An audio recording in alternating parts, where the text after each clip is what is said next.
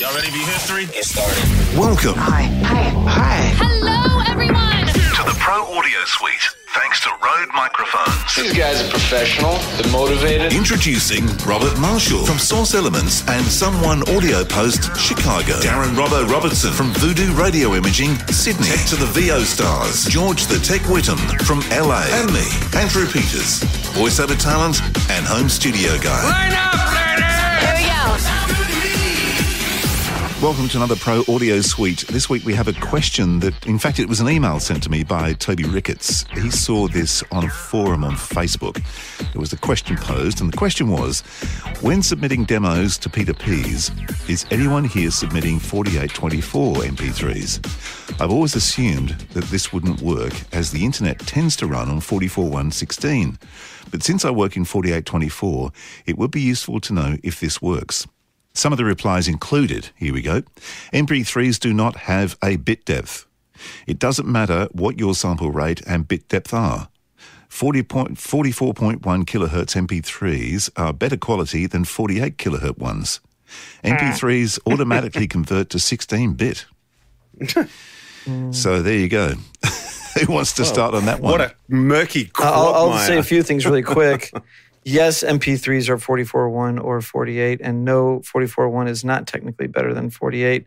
Technically, 48 is better than 44.1 because you get a little bit more frequencies, about what is it, four hertz up there that you don't hear anyways, but it makes your really high frequencies not look like square waves and a little bit more like sine waves way up there at 20K. So I don't know specifically if MP3s are um, 16 bit, but I doubt it. In fact, I'm willing to bet they're 32 bit actually by nature. But I'm not sure about that. And what was the other one? The internet works at 44.1. That's That's interesting. I don't think that's really true. The for- 40, yeah, 44.1 basically, for perspective, the way 44.1 came out was the record industry decides that they're going to use CDs, but at the same time, digital technology in general was burgeoning, and people could buy DAT machines at home that originally worked at 48K. And the in record industry said, oh no, we don't want people digitally copying our CDs. We would much rather have them double onto cassette tapes. So they made their own special, not standard sample rate, which is 44.1 instead of 48. So that then back in the day when you bought a DAT machine, you could pay $1,000 extra to get one that would do 44.1.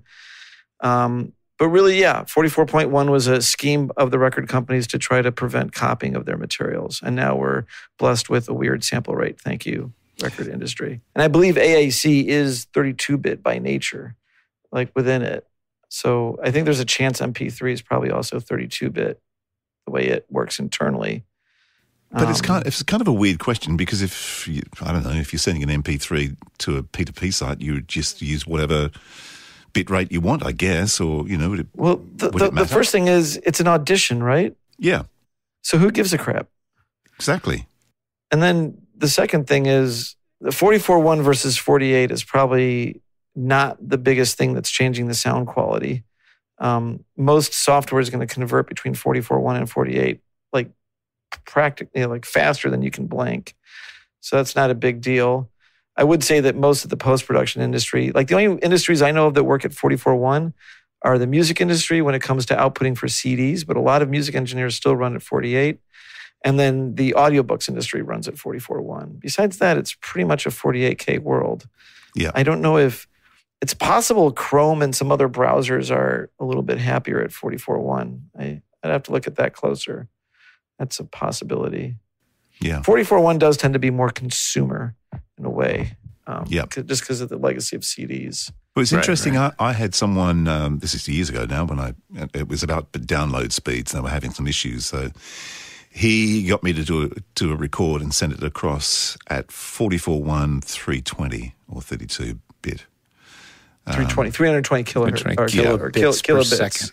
Yeah. Right. So yeah, you got yeah. It, I tell you, it's it's so easy for for actors and anybody using software to conflate these terms because you can have 24 bit files, and I've seen somebody mistakenly save their MP3s in 16 kilobit per second or Ugh. kilobit per second. Yeah, because they saw awful. 16, right? And like it sounds like garbage. I'm like, well, no, that's that's the bit rate. 16 Yeah. is the 16 bit is the bit depth, and the problem is there's all these numbers that overlap. You know, you have 24 bit, but you can also have 24 kilobits per second. Then you have 96 kilobits per second MP3 and 96 kilohertz sample rate. George, do you want to explain them all, or or how, No. how do you want to? I'll, I'll, I'll, I'll take a gander at trying to explain the three. Okay, the Robert, three stick numbers. on the Mad Hat. the three All right. numbers. The three numbers. Geek hack on. So uh, we'll, we'll start with the easy one. Your sample rate. Your sample rate is how many times a second it's taking a picture of your sound. The higher the sample rate, the more accurate your frequency fidelity is. So you can the higher the sample rate, the higher pitch the sound is that it can recreate accurately. It's roughly half of the whatever the sample rate is. You're capturing half of The that Nyquist. frequency. Right, the Right, Nyquist so- feature. So 44.1 can capture at the most 22 kilohertz. But mind you, at 22 kilohertz, it's a square wave, right? So then you get all that high pass or low pass filtering to try to tame down all those crazy overtones it created are created because of that. So 48K can um, capture up to 24 kilohertz, Thousand, yeah, twenty thousand cycles a second, which is well above what everyone can hear. Right. and that that already is like those extra couple samples up there make the high frequencies better at 48k you start going into the really crazy bit uh, sample rates that um, high definition music uses. You have 96 but you also have 88.2 88.2 is nothing but double 44.1 and so now that can create a waveform that has a frequency up to 44 kilohertz like way the hell beyond and some of these are like, you know, theoretical and people don't really hear the difference, or you only need it if you're going to record birds chirping and then slow it down for some sound effects reason. Um, that might be a reason to record those really high sample rates, or you're just an audiophile aficionado. Your audiences are, are is made of dogs. Yeah, dogs and dolphins and, and whatnot. Exactly.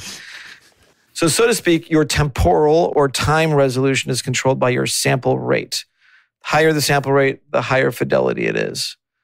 Um, to give you perspective, something like the phone system, I think, is sampling at three kilohertz, or maybe maybe it's no eight k. It's eight. ki- it's eight kilohertz, which gives you four Up to kilohertz four of, thousand hertz of of of um usable range, right? right. Right. So then the next thing is your bit depth.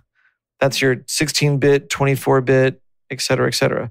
So again, for reference, your phone system, you're pretty much listening to 8 bit audio, real kind of early video game sounding stuff. The higher the bit depth, the bigger what's called the dynamic range, or how quiet of a sound can be expressed at the same time how loud. Like the difference in in volume between the quietest thing it can record and the loudest thing it can record. So, a jet, airplane, from normal volume up to blasting loud is about 144 decibels, I think, or 100, or is it 120 is a jet? A jet. I think a jet is around 120. It's a logarithmic scale. It's it's exponential. Like your ears are bleeding and now you're deaf loud. That's that's the yeah threshold of pain is like 120 hertz. Right. Yeah. Uh, 20, The- 120 decibels. Sorry. decibels. Yeah, No, we're, not- confusing the numbers. sorry. Yeah, right. 120 decibels is the threshold of pain, and certainly a cassette tape can't capture that. Maybe a record can, but the reason why the 16-bit thing came up because it was 96 decibels of dynamic range. It's usually pretty much uh, six decibels per bit of dynamic range that each that, that, that you get. So six times uh, 16 is 96. I hope, right? Someone okay. Um, so that's the CD just matches what the human ear can pretty much deal with. A little less on the dynamic range, certainly on the frequency range. It just perfectly boxes that in. That is CD quality, 16 bit, 44.1. In other words, up to 22,000 cycles a second in frequency and 96 decibels of dynamic range. The next thing is 24 bit. So 24 bit can do 144 decibels of dynamic range, which I believe even now the best analog equipment can't can barely operate at that level. It's like essentially it's capturing everything and then a little bit more. Your jet can't doesn't even have that dynamic range. 24 bit is the whole possible canvas in terms of dynamic range. So this is not a lot of extra data. and a lot of extra room. We've talked about this before, where you can record at a much lower volume in 24 bit and still get that same quality. Because if you're, I mean, there it is right there. And CDs do, or 16 bit does 96 kilobits per second. So if I was recording at minus 96, you would have one bit to describe that audio with in 16 bit if your preamp was set to minus 96 and only giving you that level. Whereas at minus 96 with uh, 24 bit, you've got at least 44 decibels of dynamic range still left to give you a usable waveform instead of some little square wave. Yeah, pretty much. Right. Right. Um, so that's how much difference, like logarithmically, 24 bit is a huge amount of dynamic range. So bringing it back home, what does it mean to us? Probably for voice stuff and everything, definitely on the delivery side, 16 bit is good enough, but 24 bit is some not a lot of extra data and gives you a lot of extra space to work with dynamically so someone else can turn you up without you clipping it. I don't think anybody's ever going to hear the difference between 44.1 and 48 for the most part. But 48 is just a little bit easier to deal with because it is pretty much the format that most everyone will deal with in terms of post production, unless you're working in audiobooks, which you do want to work at um, 44.1 at that point. I don't think that any of the high sample rate stuff has any place in the voiceover world. There's no need for anybody to record at 96 kil- kilohertz or any of that. The last thing I'll say is 32 bit. And what the hell is that? 32 bit is a floating point numbering system instead of a fixed point numbering system. And what that means is that like 32 bit has a decimal place in it. It's 24 bits plus a multiplier or a scalar. And it doesn't really mean much from the file point of view. Um, really, ultimately, I think it might add a little bit of resolution because it is 32 bit. But really, where 32 bit comes in more handy is when you're passing audio from one plugin to the other. Because then, if it's clipping, they just have to divide by that decimal point and they can bring it out of clipping you and, and you never really clip. Whereas with 24 bit, if you hit the top, there's no more numbers for you. There's no decimal place to play with, essentially. Hmm. So that's So next week we're going to talk about one bit, I Oh. gonna say, eight megahertz sample rate recording. Sure. Yeah, yeah. Single bit. Bit yeah, yeah. streams. Tune in next week as Robert delivers the theory behind calculus. Yeah. yeah. Dir- direct stream digital. You would throw that in there. I mean, I, I, I- I'm no good with the science behind it, but one thing I would add is that MP3 is not, in my opinion, is not a professional format. MP3 is a delivery format, but it's not a professional ah, format. yes. Please don't.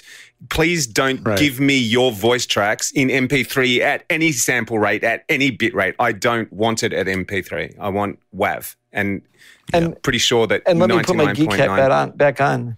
Yep. because because I, 'cause I only explained the two numbers. The last thing is the is the bit rate. So not the bit depth, not the sample rate, but the bit rate. It's both. It's kind of sounds like both of them combined, but it has nothing to do with either one of them. What the bit rate is is it takes the encoders, MP3, MPEG-4, all these things that take a lot of audio data and crunch them down to less data. Is it says, okay, I've got whatever it might be, a window of time, 10 milliseconds of audio. And in that 10 milliseconds of audio, I'm going to use a certain amount of data to describe that audio. That's the data rate. That, that is your 320 kilobits per second or your 16 kilobits per second. How accurate of a picture is this thing that takes the audio and makes it less data? Because your raw data rate is just literally your bit depth times your sample rate. That's how much data it produces. 16 bits, 20 uh, or 44,000 times a second. Multiply it out. That's how much data you have.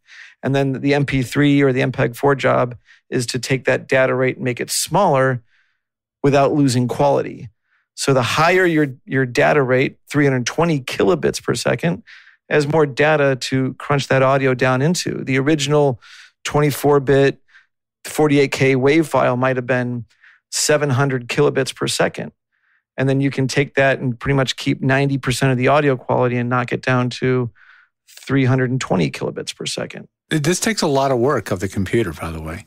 It does. Um, I don't know if you've noticed if you've saved an MP3 then saved a wave of the same file, how much dramatically slower the MP3 takes to save.